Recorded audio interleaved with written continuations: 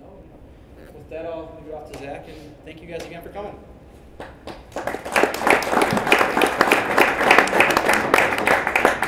Thanks, Matt. Thanks, Rob, and everyone on the BuiltWorlds team. They've done a great job putting this event together and get everything organized. Um, It's made our lives a lot easier. Um, I'm Zach Cupkovic. I'm the Director of Special Projects for R2 companies. Um, Very quickly, I'm going to go through a little bit of context with Goose Island, um, historical and geographical. Um, Before I do that, I just want to say thank you for everyone coming here. Um, In some way or another, every single person here has touched Goose Island in a certain way.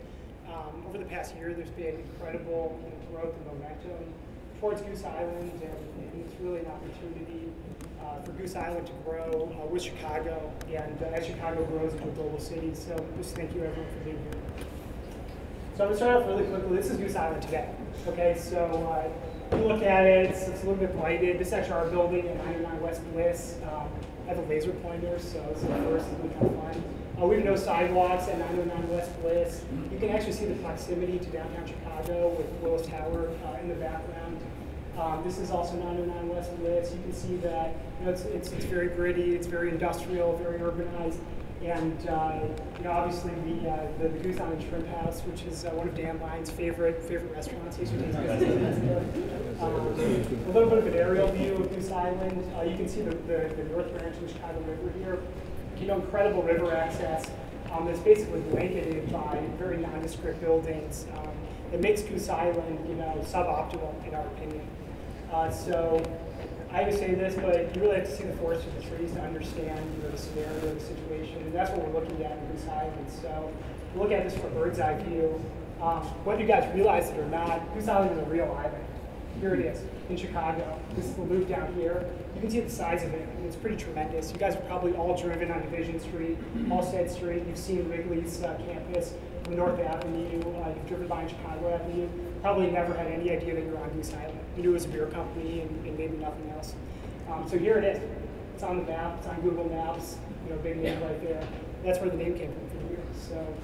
Um, I think this just tells a really, a really different story about Goose Island and a story that we're very familiar with. I hope you guys will be uh, at the end of the meeting. So, uh, to me, Goose Island is, uh, is, is really it's a great story about its history and, its, and, and, being part of the fabric of Chicago. But really, why we're all here is it's, it's part of the real estate fabric of Chicago. Um, Goose Island is great real estate. So, to prove that point, you know, there's Lincoln Park, there's Gold Coast Milltown, there's River North, River West, Ukrainian Village, Wicker Park, and Bucktown.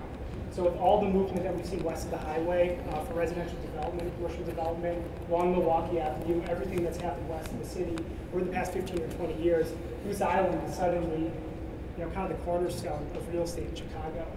Um, and I think this is really powerful and it's something that you, know, you never understand just walking on the streets there or driving by on Division Street. Uh, so I'm going to talk a little bit about the history of Goose Island. Uh, Goose Island is actually originally a man-made island. Uh, so this is the natural bend of the North Branch of the Chicago River.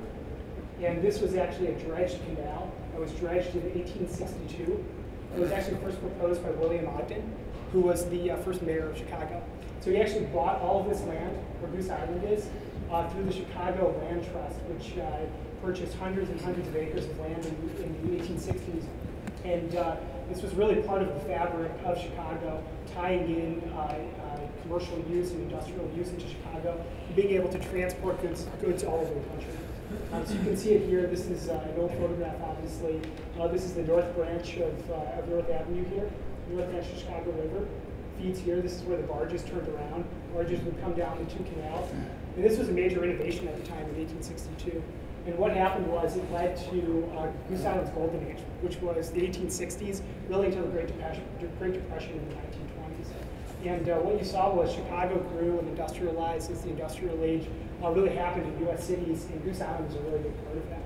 The Great Depression hit a lot of uh, manufacturers on Goose Island and in the neighborhoods of North Chicago. Uh, they started to move to the suburbs. World War II happened, baby boomer generation, urban sprawl happened. Um, and what was left was really a lot of vacant land. Um, a few manufacturers were left over, but there was really this vacuum of tax revenue, of, of socioeconomic problems that happened on Goose Island um, that really lingered from 1920 all the way to 1990. So in the 90s, what you saw was uh, you know, a, a, reurbanization of core urban centers, especially in Chicago.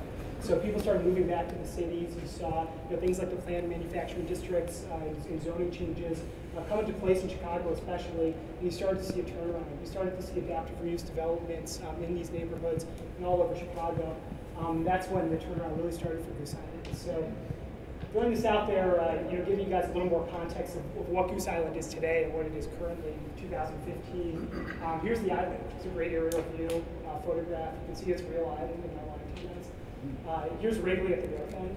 So it's bookended by Wrigley, and then you'll see later at the south end by Kendall College. Uh, Mercedes-Benz Chicago is on uh, Division Street. The CTA has a really large facility. Uh, it's a distribution facility for them on the island.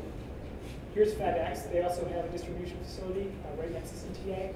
Here's JDL. Uh, this is a small one, but I think this is really important. JDL is a, is a great developer in Chicago. It's a high-end uh, residential developer, he chose to put his office on Goose Island and own land there, which we think is really instructive and really interesting.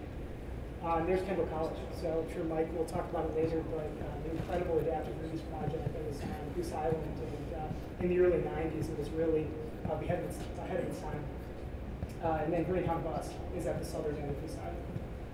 So then to give you guys a little more context on what we're going to talk about tonight, uh, UI Labs and DMDII, they're in the old Republic Window Building, uh, which is right here on Goose Island.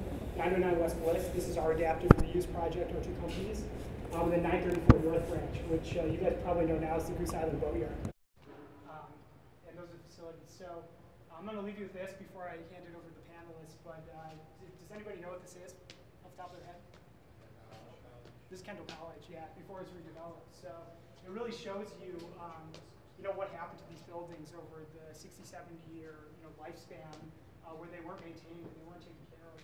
Um, and the opportunities for redevelopment, and, and I think this is a microcosm of what's going to happen in Goose Island in general. So uh, that's what it looks like now, which I think is pretty incredible. When So- was that, did you know that picture was taken? Uh, Mike, you know when that picture was taken? Probably in the late eighties, yeah. early nineties. So it's left, developed in the early 90s. So we think this is pretty incredible. We think it's instructive for everything that's happening now with our projects and ever on Goose Island. So uh, that being said, I'm gonna I'm gonna pass it off to Dan. Dan, thanks. Great. Hey, let's give Zach a round.